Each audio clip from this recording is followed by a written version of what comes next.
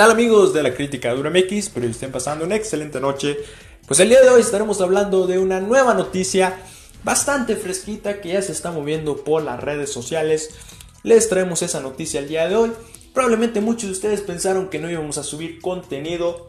Pues oh sorpresa, subiremos un video nocturno muy, pero muy interesante donde ya las redes sociales están lanzando una petición que lleva más de 100.000 firmas para que Margarita Zavala y Felipe Calderón cancelen su partido político. ¿Qué les parece amigos? Tremendo la convocatoria y también tremenda el rechazo de los mexicanos hacia estos dos personajes. De eso vamos a platicar el día de hoy, así que siéntese, acomódese y relájese. Que estoy seguro que esta información te va a interesar. ¿Y qué tenemos en pantalla? Partido de Margarita Zavala consigue casi 100.000 firmas, pero para cancelarlo. ¿Qué les parece amigos? Miren, es interesante esta información. Esta semana Margarita Zavala, ex candidata presidencial, lanzó la convocatoria para que la ciudadanía se sumara a su nuevo partido político México Libre.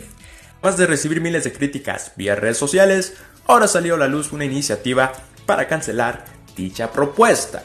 Miren, aquí tenemos en pantalla lo que es pues esta publicidad que le hacían al nuevo partido político México Libre.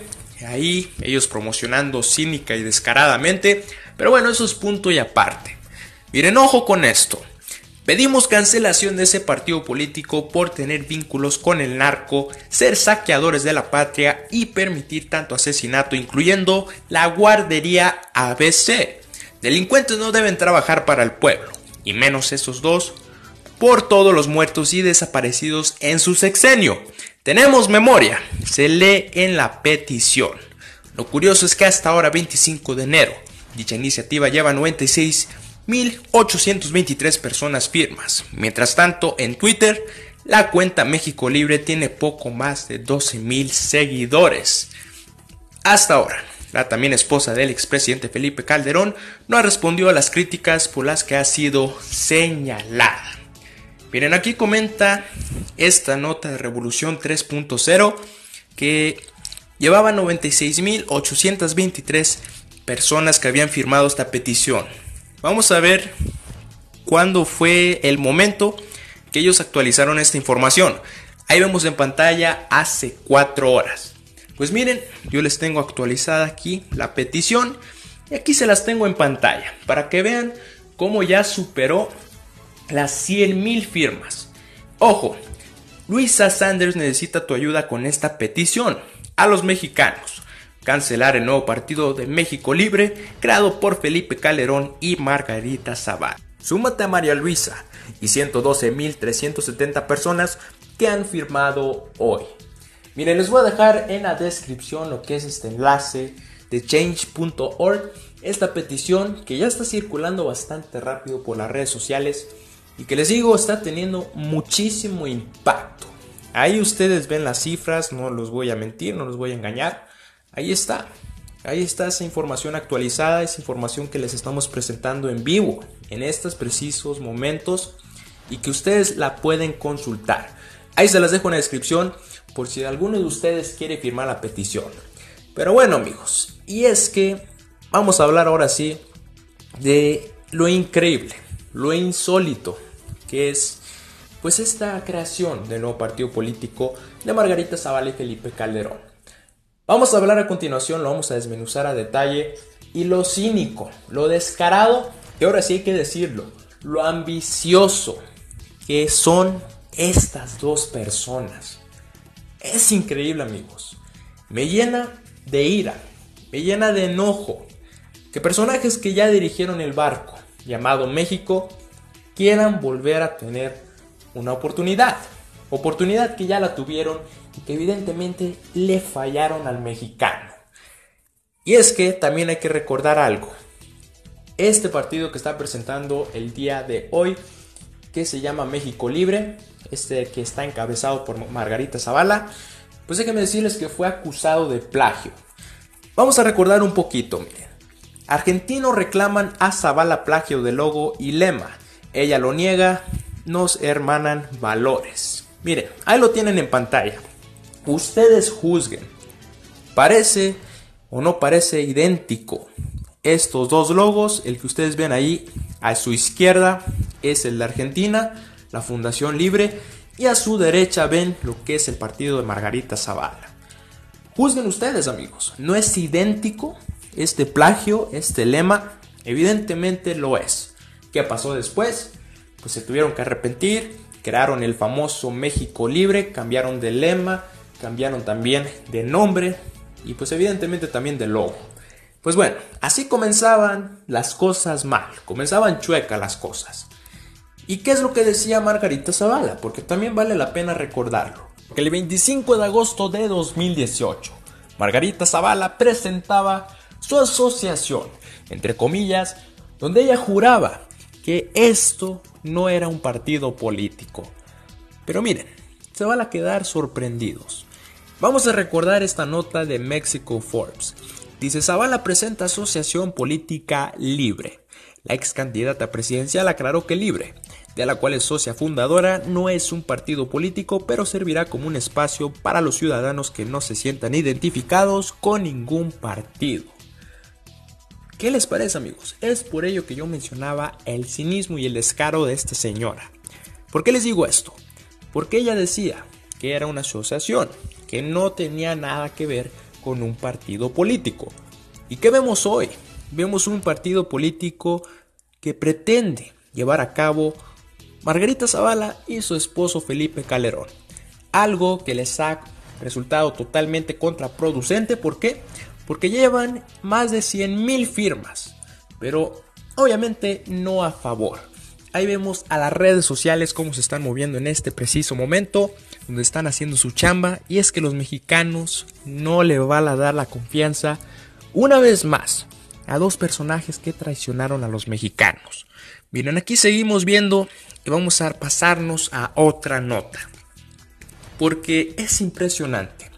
Es increíble que los mismos descarados, estoy hablando de panistas, estoy hablando de priistas y también de los propios perredistas. Miren, vamos a recordar un poquito, vámonos hasta el año 2015. Y así lo titulaba el diario El País. Miren, aquí dice la nota, Morena, la última lanza de AMLO, así lo cuestionaba el diario El País. Ustedes saben que en dicho año 2015 fue creado el movimiento Regeneración Nacional, conocido como Morena donde este señor que ustedes ven en pantalla, Andrés Manuel López Obrador, lideró este partido político. Aquí señalaba correctamente el diario El País, que si esta era la última vez que Andrés Manuel López Obrador iba a contender por la presidencia. Se decía mucho de esto y se hablaba mucho al respecto. Pero también hay que recordar lo que decían los derechairos, lo que decían los panistas, los priistas, en general todos esos chayoteros que también tienen una línea bastante marcada y que son expertos en la guerra sucia. Y es que, ¿qué decían cuando el presidente Andrés Manuel López Obrador en dicho año había fundado el partido Morena? Decían, es que cómo es posible, es un ambicioso Andrés Manuel López Obrador. No se ha cansado Andrés Manuel López Obrador de, pues prácticamente joder a los mexicanos. Eso es lo que querían decir. Y yo les digo a todos esos que en algún momento cuestionaron al presidente, el actual presidente, que son unos estúpidos. Así se los digo, que son unos estúpidos. ¿Qué vemos el día de hoy? Vemos a dos personajes que ya han gobernado, a dos personajes que ya demostraron a México lo que son capaces de hacer. Demostraron cosas que nosotros los mexicanos pues estamos totalmente perturbados. Vimos la famosa guerra contra el narco, vimos cualquier tipo de situaciones maquiavélicas de estos dos personajes. ¿Y dónde están todos aquellos que cuestionaban en algún momento a Andrés Manuel López Obrador? ¿Por qué el día de hoy no llaman ambicioso a Felipe Calderón, un personaje que ya gobernó durante seis años? ¿Dónde están todos aquellos que cuestionan a cada minuto, a cada segundo al actual presidente de la República. Pues obviamente están en la cueva, están resguardaditos, están calladitos, al final de cuentas les dan su chayote y los tienen bien calladitos. Esto es algo que ya tiene que cambiar. Yo hago este video con el propósito de que ustedes también abran los ojos. Miren, yo no tengo nada en contra, personalmente contra los calderonistas. No es que yo quiera sabotear, no es que yo esté corriendo la voz de que vamos, vamos a sabotear, vamos mexicanos. No amigos, es que ellos se lo han ganado. No tengo que decirlo yo, no tiene que decirlo un experto, no tiene que decirlo alguien que probablemente tenga más influencia que yo. No amigos, eso es algo que los mexicanos ya lo saben. Fueron pésimos en el gobierno, provocaron miles de muertes y obviamente eso es algo que los mexicanos nunca van a olvidar. Así que ahí están las respuestas de los mexicanos en esta, que es la organización change.org. Les comento una vez más, ahí les dejo en la descripción por si ustedes quieren firmar esta petición que ya se está difundiendo, que ya está teniendo bastante impacto pero que nos refleja claramente que ya los políticos anteriores, los políticos dinosaurios, todos esos políticos que ya demostraron lo que son capaces de hacer en nuestro país, pues prácticamente siguen ambiciosos, siguen con la idea de que quieren joder más al país y eso es algo que tiene que cambiar amigos. Hay que mantener la serenidad, hay que estar bastante concentrados, no hay que caer en este tipo de cuentos de una vez más darles la confianza de que dame tu firma, vamos a hacer un mejor México, bla, bla, bla.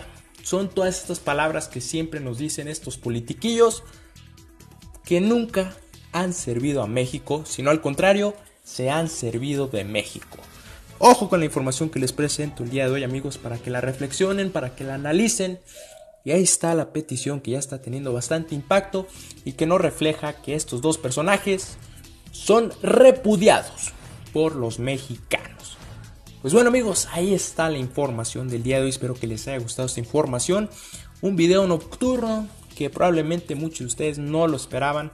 Pero de igual forma ustedes saben que nosotros estamos totalmente comprometidos con ustedes para subir los videos diariamente. Aunque sea uno, aunque sea en la noche, eso no importa, pero yo les he comentado en reiteradas veces que si es necesario subir un video diario, nosotros con mucho gusto lo vamos a hacer porque ustedes son quienes nos impulsan a hacer este tipo de noticias. Pues bueno amigos, eso fue todo por el día de hoy. Dale pulgar arriba, suscríbete a este canal si todavía no te suscribes. Comparte este video para que más mexicanos estén enterados de esta noticia, de cómo las redes sociales están impulsando esta petición. También puedes compartir la petición, ahí la estaré dejando en la descripción. Y también te invito a que nos sigas en nuestras redes sociales. Te dejo mi Twitter y te dejo mi correo electrónico por si gustas enviarnos un mensaje en la descripción. Pues bueno, eso fue todo por el día de hoy. Que pasen una excelente noche, que descansen todos y nos vemos el día de mañana. Hasta luego.